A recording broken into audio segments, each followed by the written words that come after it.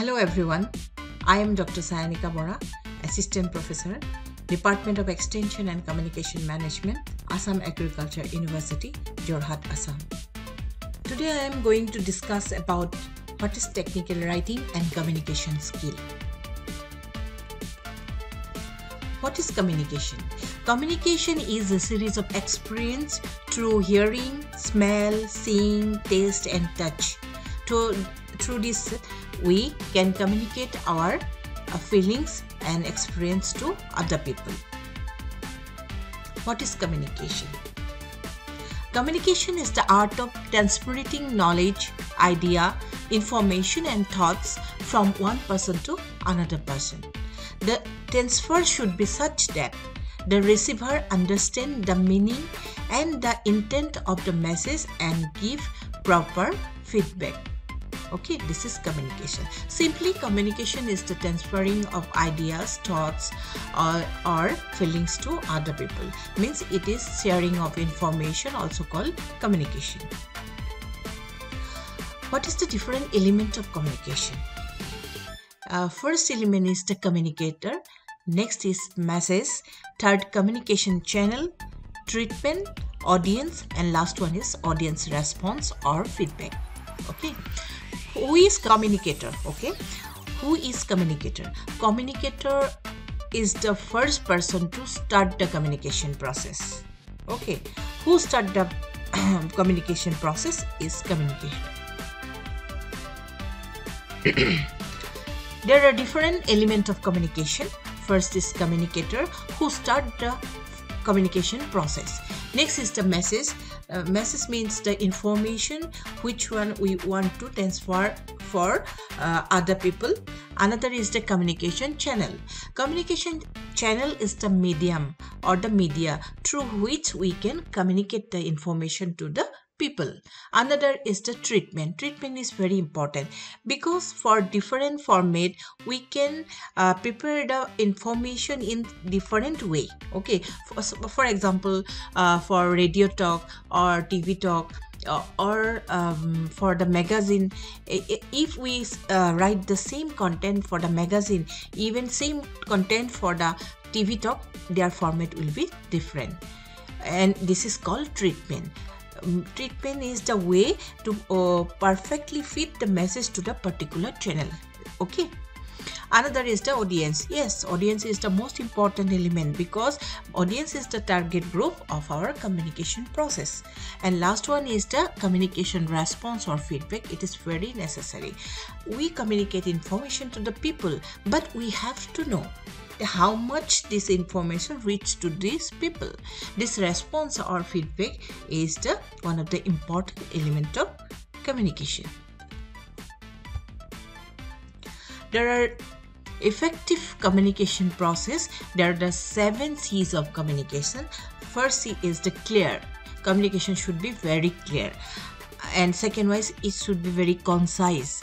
And it is concrete form okay? And communication what are the information we communicate to other people? It should be very correct okay? And another is the cautious. It should be polite. And last one is the coherent. It should be logical okay? Importance of communication okay? Why communication is important? It is very necessary. First communication is very important for decision making or planning and it should be important for uh, smooth and efficient working of a organization. And it facilitates coordination it increases the managerial efficiency of people and it promotes cooperation and industrial peace and it helps in establishing effective leadership. Okay. And uh, another importance is motivation and moral okay motivation and moral increase magnetic capacity of people. Another is effective control on people and job satisfaction. Democratic management. Increase productivities and reduce cost and public relation. These are the very uh, important uh, thing because in that case uh, communication is very very important different type of communication. Yes it is very important. Based on the different factor uh, communications types would be characterized in different way. On the basis of organizational structure of relationship there are two type of communication. One is the formal communication another is the informal communication and grapevine communication. Okay on the basis of flow of direction. Which direction communication flow from one person to another person? And based on that factor there are the four types of communication. One is the downward communication means from the top authority to, the downwards means staff position. Any communication um, does then this is called downward communication. Okay. Upward communication from the grassroots level to the upper position and the upper authority. What are the information transmitted or the communicated this is called upward communication. Another is horizontal communication and diagonal communication. Horizontal is in the same level means between within the staff level any communi uh, information communicated then it is called horizontal communication. Okay. On the basis of method of media use or expression first is the written communication second is oral communication and third one in non-verbal communication and gestural communication. Okay. How we communicate. Is it is very important question how we communicate. In which way we communicate. Okay. There are three important way. First is the verbal. It means when we communicate through words. This is called verbal communication. What we say. Okay. Level and uh, learners put their own interpretation on speaker word is called verbal communication. Okay. Next is the paraverbal it's mean tone how we say okay accent or voice modulation. For example if we say the same word in different to uh, definitely uh, it's mean in different way okay. And this is called paraverbal mean it is the middle state of verbal and non-verbal way. Okay. Non-verbal is expression and action body language and speakers looks like is the non-verbal. Non-verbal communication is when we communicate information to the other people through some uh, sign and symbol. This is called non-verbal communication. Do, do you understand okay. Next we can calculate the how much of communication how, how much percentage we use verbal paraverbal and non-verbal. Uh, when we think then definitely we can say that yes verbal most of the time we verbal but not it is not exactly correct. Verbal only 38 percent of only communication process only through verbal means word. Okay. Paraverbal only 7% and another 55% mean most of the percent we use non-verbal communication. In the in a day we can communicate information through most of the time non-verbal. Okay. Most common ways of communication is speaking writing visual image and body language. Okay then non-verbal communication. Okay.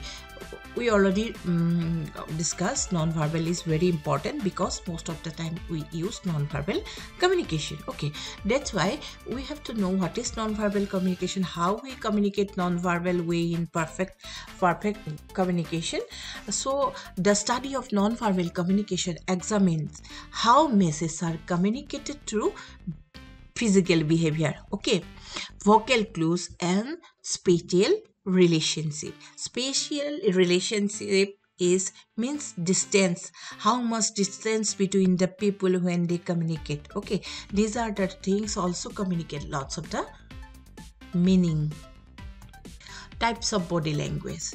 First one is gestures postures eye contact appearance and um, orientation expression of emotion. These are these are express lot of things because the way of standing the teacher how they stand how they walk during their uh, class uh, and actually how they contact their eye with the student and their look her look um, appearance lots it is all those component actually express lots of um, meaning or it's uh, express lot uh, communicate lots of things to the student. Okay i'm just talking give example of student and teacher. In every situation this actually this can um, apply.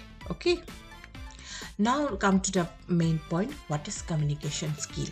Okay it is ability to use language and expression information.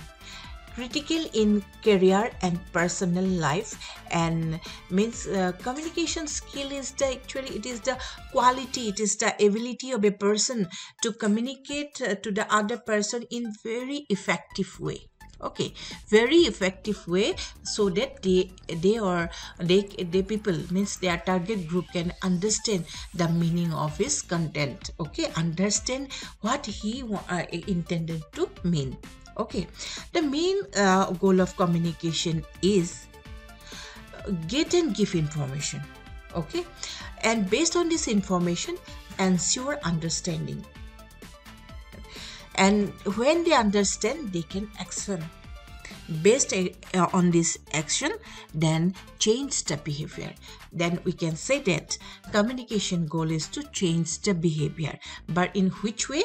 In favorable way. Definitely change is two type. Okay then always change should be in favorable way in positive way. Okay. Then type of communication skill there are the three types of communication skill. First is the receptive skill expressive skill and processing skills okay under the receptive skill there is the listening skill. Because listening when we hear something it means we received something. Okay reading reading skill. Yes when we read something then eh, actually then we also receive something from the books from the magazine newspaper etc and observing skill. When we observe something we actually get information from this object and we receive these things. Okay another is expressive skill how we can express. Through speaking means talking with other people writing writing letter writing replication writing words. It means we want to express something. And another is non-verbal communication and non-verbal skill. It means through symbols and sign our body language. Okay. Third one is the processing skill processing skill is the thinking skill. When we think something about uh, about our mind in our mind definitely we processing within our mind to take the solution. If we face any problem then we communicate with our own self. We thinking about to find out the solution. This is called processing skill. Okay similarly it is analytical skill and this is on making skill. These are the processing news okay do you understand about different type of communication skill? Okay. Then listening skill because uh, there is a question. Um, do you think listening skill is more important than uh, uh, speaking or um, teaching or learning skill? Yes. Listening skill is more important than uh, speaking skill because for effective communication listening come first. It helps in achieve the best outcome in any situation. There are different stages. First listening then speaking then reading then writing. Okay then we can get the proper outcome of the situation. For effective listening there are different steps. Okay first is the listening with empathy okay. When we listen something then we can try to understand the people who speak that things okay. Their situation. Listening with openness. Always mind should be open to listen anything. Okay. And listen and listening with uh, awareness. If we are aware about something then when someone talking about that then we can listen and, and then we can try to understand about that. So listening with always awareness. Then last one is the li listening actively. If the all component are there in the listening process then we can say that we this is an active listener and the process in the effective listening. Okay? Understand now we come to the barrier. We all know what is barrier. Barrier is nothing barrier is just a obstacle. Okay? There are three levels at which communication takes place first is noticing is done with the senses and is at the physical level. Second understanding is at the level of intelligence. Third one is acceptance is at the emotional level. There are the three stages. Okay. Anything that hinder hinders the process of communication. At any of this level is the barrier of communication. Means simply we can say that when some factor when communication process is obstacle uh, when some factor um, act as an obstacle in the whole communication process in any stage that it can be known as barrier okay. Barrier to communicate can be defined as the aspect or condition that interfere with effective exchange of idea or thoughts. Okay. What is barrier? You know what is communication barrier then there are different factors which create barrier or uh, obstacle in the communication process. Yes environmental barrier definitely. Environmental not only i am talking about the environment means climates and the weather not. Environmental means total surrounding of the communication where communication takes place is called environment and this environmental factor also affect the communication process. One is the technological process. Technological factors yes definitely. Now i am doing in an online class. If there is a power cut there is no internet the internet issues then how I, it is it create obstacle in whole communication process okay like that lots of actually i'm not mm, going to all these things just mention this factor only.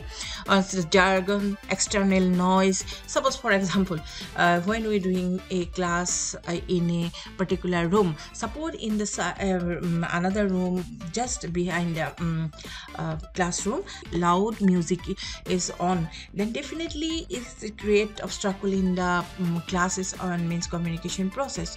So this uh, external noise also creates the struggle in the communication process. Sometimes emotion yes definitely emotion. Suppose uh, someone in the communicator um, in case suppose communicator is not um, feeling well. Suppose today i am doing the class i am not feeling well. I am physically very tired. I am actually um, emotionally very low. Uh, then definitely it's expressed through my communication uh, process my way of expressing um, um, information expressing what you can uh, know the communication um, uh, you, can create the communication uh, obstacle in the communication process. Sometimes when actually we uh, we are feeling happy then we can actually communicate very happily and effectively to other people. Okay otherwise sometimes it create problem. And another is the distance. Suppose uh, so, um, one people um, standing far away for me. I am um, actually instructing um, something to him and definitely for due to this long distance suppose sometimes he received this message in another way it's, it's also act as a um, obstacle or the barrier of communication like personal interest halo effect misinterpretation fear stress status, chain of command, and trust issue and negative self-image. These are the factors of communication barrier. Okay? Okay. Do you understand? Okay. Next classification of barrier this all the factor categorizing some broad factors. One is a physical barrier okay. Another is semantic and language barrier socio-psychological barrier organizational barrier and cross-cultural barrier i am not going to this whole thing explain in the slide. I just presented all those things in um, by the picture okay? This is the physical barrier. You see the picture you can easily understand what is physical barrier okay? Next is semantic uh, barrier or language barrier. Yes for example you don't mind there our english is different. Bengali english is different assamese english is different and south indian english is different. You understand what i want to mean okay. Because for example we say 13 okay. But uh, some area people from some um, some uh, actually area region they say 13 okay. These are the different type of actually differences in the language. Okay. Sometimes it also create problem. So we can, it, uh, we can uh, say this is the semantic or language barrier. Okay another is socio-psychological barrier. Socio-psychological psychology our actually mental state okay? How we think. Sometimes we think the people are actually gossiping um, uh, actually about me. Actually they people what they think like that. It, this type of behavior also sometimes create barrier to uh, in the communication process or the um, prop in proper communication okay another is the cross cultural barrier. See the picture and you easily understand what actually we want to express it. Okay. Cross cultural behavior. Another is organizational um, barrier. Organizational barriers in any organization there are lots of conflict there are lots of competition between the uh, people, people between staff between colleagues. In that type of situation also uh, in, in organizational um, situation sometimes the commun- in it also create obstacle in the communication process. So we can say that it is an organizational barrier now we come to the next part of this presentation is technical writing okay before we discuss about what is communication now the um, we, we will going to discuss about uh, technical writing. Technical writing is writing or drafting technical communication used in technical and occupational field. Okay, such as computer hardware and software, engineering, chemistry, aeronautics, robotics, finance, medical, agriculture, and consumer electronics, biotechnology, and forestry. Technical writing encompasses the largest subfield within technical communication. The technical writer explain to used without technical knowledge how to use a product that requires technical knowledge to use. By extension therefore a good technical writer is a good at writing simply and creating easy to understand descriptive images such as flowchart diagram and sketch. Means technical writer able to uh, communicate this technical knowledge without using lots of technical word okay? This is called technical writing Technical writing means business writing, workplace writing, professional writing, and information writing. These are the different category of uh, technical writing. So, uh, business, uh, workplace writing, professional and information writing, we are mostly talking about this professional writing. How is technical writing different from general writing? This is very important. Okay. The information is organized presented and communicated in a specific format. The writing is concise, clear, and accurate. The writing takes into account the audience need, biases, and prior understanding. The technical writing pre present information to help readers solve a problem or gain a better understanding of the situation. The writing conveys technical, complex or specialized information. In a way that is easy for a non-technical reader to understand. This point is very very important. Technical writing always convey the technical definitely technical knowledge technical information complex and specialized information. But in such a way that is easy for a non-technical reader to understand. Okay this is technical writing lots of example of technical writing is like action plan advertisement agenda audit reports book review brochures budget business letter business plan catalog contract um, critic data book or display description diagram chart or poster or graphs editorials emails feasibility reports field test report incident reports, informational forms, informational poster, informative summary, instruction, and interview questions. These are all example of technical writing. Another example of technical writing job application which is related to the student and actually we are we academician okay? Job application job description lesson plan letter of inquiry letter of recommendation magazine newspaper article marketing plan memo meeting minutes newsletter observation report performance evaluation persuasive proposal position paper product comparison proposal, questionnaire, research report, resume portfolio, scientific paper or report, survey report, test report, transcription, training manual, travel guide, web page and work order. Lots, lots of example of technical writing. Now from above slides, we already discussed about what is communication what are the different type of communication and uh, what are uh, what is communication barrier and what is technical writing different example of technical writing how this technical writing is different from general writing. These are the question for you. Please try to give Uh, answer of this question. First define communication. What are different elements of communication? Next is what are the different type of communication? Okay. Third one what is listening? What are the different step of effective listening? Write about different type of communication barrier. Okay. Last one is briefly write about technical writing and mention five points why it is different from general writing okay? I think now you are able to give the answer of this simple question. Okay?